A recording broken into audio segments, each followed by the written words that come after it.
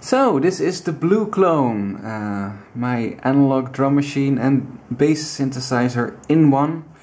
This is my latest creation and I'm quite happy with it. Um, this is uh, an analog dr drum machine based on the CB55 by Circuit Benders in the UK, which is a clone of the Roland DR55, a pretty cool drum machine.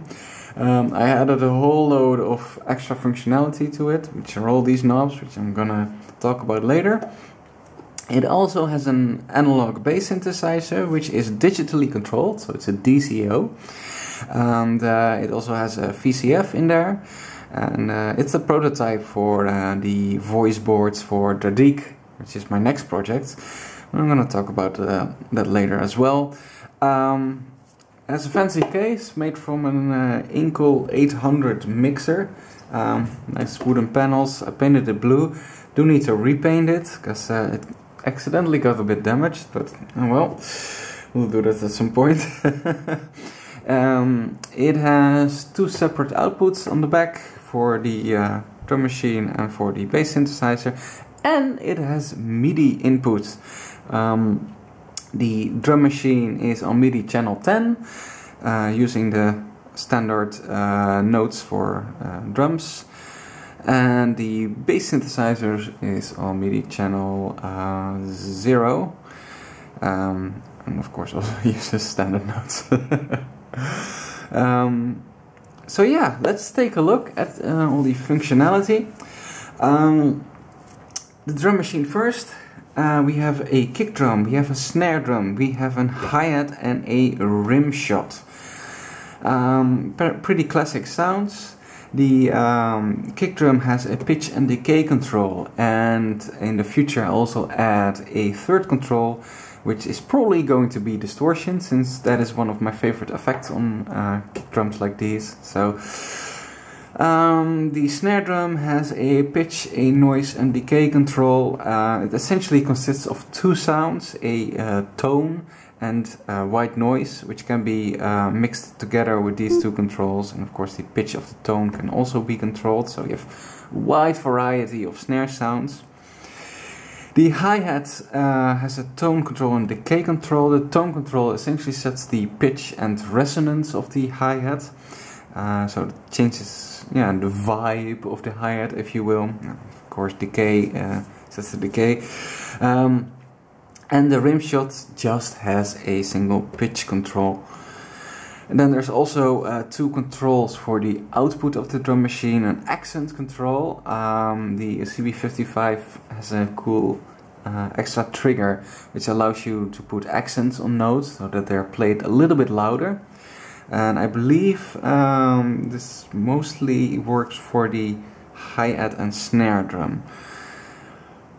The tone control below that um, essentially um, is just a, a low pass filter which uh, allows you to darken or lighten the sound accordingly uh, to give it a bit of vibes or a cool crescendo kind of effect, whatever you want. Now to the right here we have a reverb section which is currently not working yet. Uh, I don't have the components for the reverb just yet but when I do um, the drum machine output uh, can be routed through that reverb. It's going to be a very cool sounding one.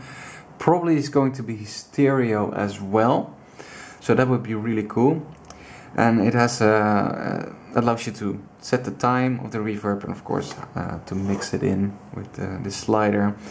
Um, each drum sound also has a volume control um, which is still a bit iffy uh, because uh, some of these faders actually don't work well. I salvaged them from the uh, Inkel mixer which this case is also from but yeah they're in pretty bad shape unfortunately I only discovered this when I already plonk them in there. So, oh well. But for now, it's uh, it works really well. So, oh well. um, to the right of the reverb is the section for the bass synthesizer. These controls right here. Um, the bass synthesizer has a simple attack and decay envelope, which controls the cutoff frequency of the filter. The uh, DCO uh, outputs two waveforms, a sawtooth and a pulse. And the pulse can also be pulse width modulated. So what this control does is, um, if it's all the way down, you just have the pulse from around here to all the way up here you get a sawtooth mixed in with uh, a pulse and the pulse will also be pulse width modulated. All the way down here it will be slowly modulated. All the way up here it will be uh, very quickly modulated. And all the way up here we just have the sawtooth um, the sawtooth is still a bit uh, narrow. It doesn't actually um, uh, like it has it has these gaps in between each uh, saw waveform. So it, it, does have a little bit of a different sound. It's not a pure saw, uh, not by far, but I do like the sound so far and I'm like, well, this is fine. Lastly, we have the resonance control right here. And this, of course, that's the resonance of the filter. Um, to, from zero resonance all the way up to maximum resonance. The filter isn't self-oscillating, it's um, actually a bit of an oddity. It's a twin T filter, which are usually used for kick drums. Uh, in fact, uh, uh, Drumeek, my other drum machine creation, actually uses a twin T resonance circuit to generate a deca decaying sine wave for the kick drum. Uh, but in this instance, I turned it into a low pass filter. And of course, because it already has natural resonance, didn't need ex any extra components. It's actually very simple, but uh, quite effective filter. So um, a bit of an experiment, a bit of a dare, if you will. But um, I'm quite happy with the sound, so hey, it worked out alright. Now in the final section to the right here, uh, these are the controls for the uh, drum machine and internal uh, sequencer. Um, you have a tempo control, of course. You have a start-stop button and a uh, beat selection control. And I'm gonna go to this switch uh, in a minute. Now, essentially, um, when you use the uh, internal uh, drum sequencer and the uh, bass sequencer, you have eight presets. And let me go through them uh, quickly by pressing play. So this is the first one, second one, third one,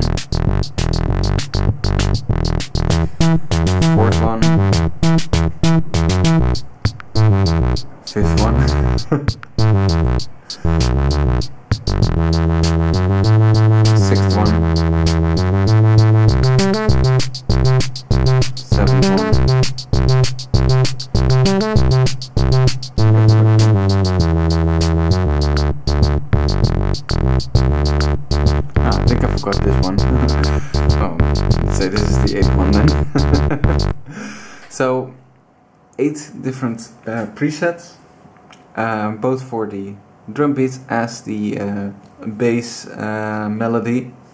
Um, these are just initial uh, bass melodies, by the way.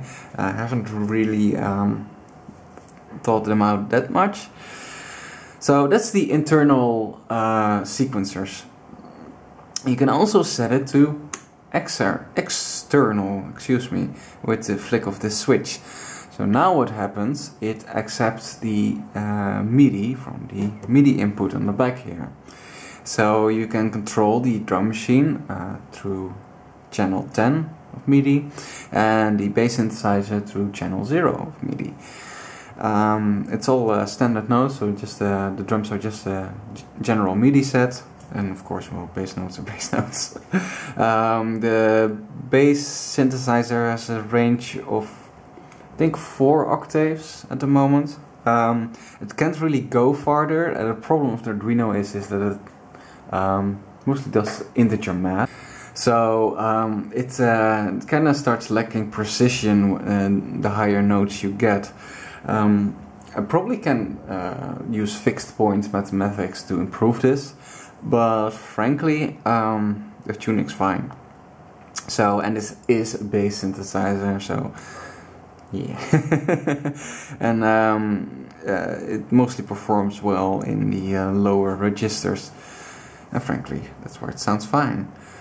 So, yeah, um, not really anything else to say about this thing. Um, of course, it does uh, still need some work, the reverb, uh, two extra knobs here that I still need to implement and uh, probably some fine tuning of the bass synthesizer some more but I'm already very happy with what it sounds like. So um, yeah I hope you uh, enjoyed this little demonstration and explanation of the blue clone the next project will be Dradik a polyphonic analog synthesizer uh, which will be quite a project to say the least. But um, yeah Oh, and also another cool thing, I'm planning to uh, do a 9 Inch Nails cover, probably copy of A, uh, using this thing as well as some other uh, of my creations. Would be cool to do a cover with just DIY synthesizers. I think that would be really cool. So probably once um, Dradik is finished and also the final version of SQK1 I still have the prototype. I took it apart. I'm like, I'm going to finish this thing now. I already found a uh, Arduino board which I'm going to use for it. And well, it's going to be very interesting. So a cover with that would be really cool. Anyways, enough talking. Hope you enjoyed this video. If you did, like, comment, subscribe, all that fancy shit. And I'll see you guys next video. Bye bye. Yo. Yeah. Oh yeah.